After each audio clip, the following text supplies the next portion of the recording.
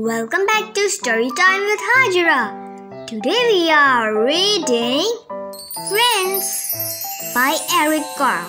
So let's get started. Once there were two friends who were always together. Together they played and ran and danced and told each other secrets. But one day, the boy was all alone. His friend was gone.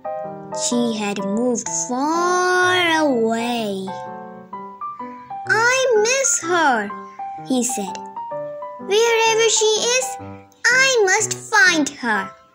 Then he took a deep breath, counted to ten. One, two, three, four, five, six, seven, eight, nine, ten.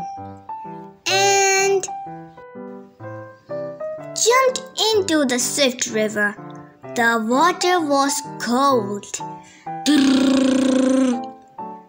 The river was wide, so it took a long time to swim across it. When he got to the other side, it was already dark. The stars watched over him as he fell asleep. The next morning, he saw a tall mountain ahead. He started on one side of it. The path was steep.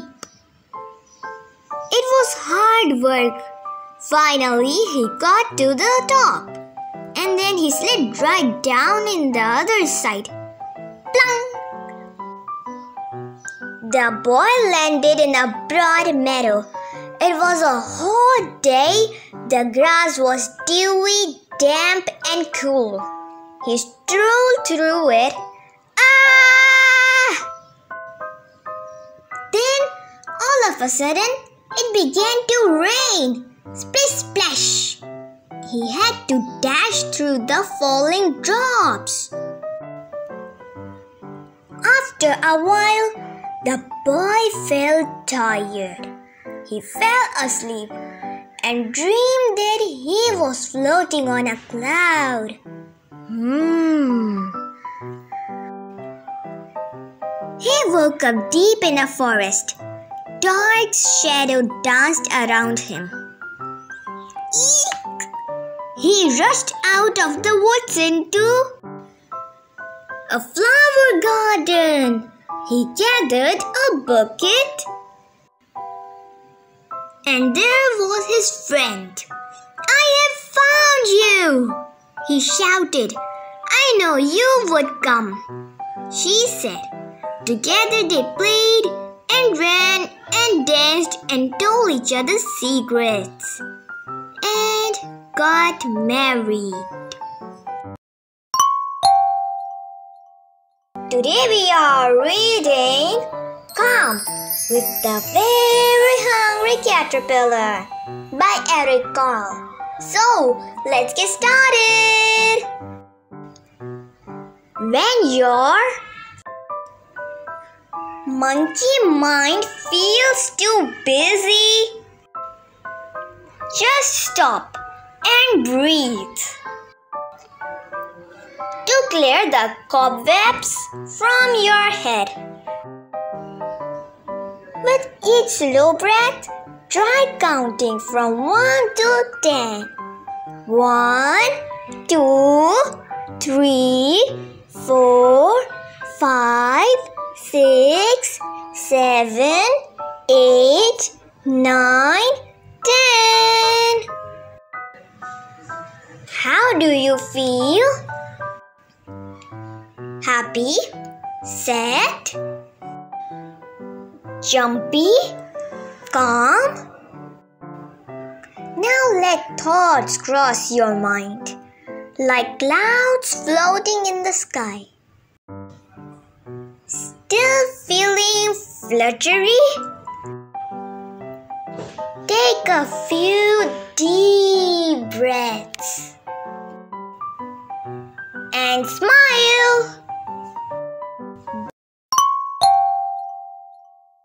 Today we are reading The Nonsense Show by Eric Carle. So let's get started. Welcome, friends. Don't be slow. Step right up to Nonsense Show. I'm too wet, said the bird. I can't fly. It's absurd. I'm too dry. How I wish I could swim, said the fish. Ouch! Who's that in my pouch? I'm seeking my tail. Can you see where it is gone? Hissed snake number one. What a coincidence! Mine's missing too. Hissed snake number two. I am supposed to catch you. Meowed the cat. Yes, squeaked the mouse. Of course, that's true, but you must know we're in a nonsense show. Oh dear, look here. It says no gas, alas. No gas? Don't worry, we're not in a hurry. What a funny looking ball, thought the tennis ace, and wound up with applesauce in her face. One sheep, two sheep, three sheep, four. And after that, how many more? K-O! Okay. Get out of my house, said the dog. But where can I go? barked the man. For all that I care, you can fly to the moon, but go soon. And that's why we've now got a man in the moon, believe it or not. Upsy downsy, nice and straight, smile a mile. Bravo, that's great! Who's that I see? It can't be me. I'll tell you who it looks like. You! Let's trade heads, the rider said. But he he, said the horse. Let's trade heads instead, okay? And so they did, of course. Hurry up, said Bottom. Wait for me, said Top. But they couldn't agree, so they never did stop. Could a leopard change his spot to a tigerish stripe? Probably not.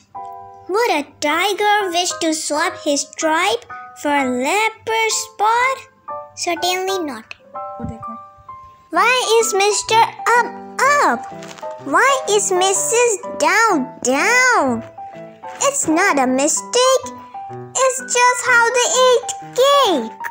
This yellow rubber duck I found has feet for walking on the ground. But don't you think that this duck outer get webbed feet to swim in water? The end. Bye.